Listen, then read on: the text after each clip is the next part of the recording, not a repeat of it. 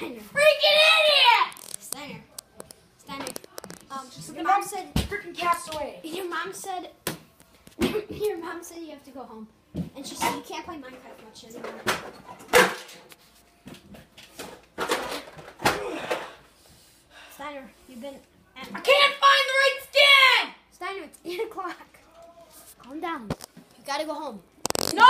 You've been on my PS4 for like four hours now. I don't care. Come on! Do! What the hell?